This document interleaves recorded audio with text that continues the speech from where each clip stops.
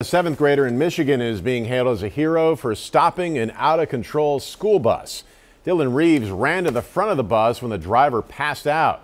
With students fearing for their lives, he stayed calm. Dillon grabbed the steering wheel and brought the bus to a stop. The bus driver is recovering.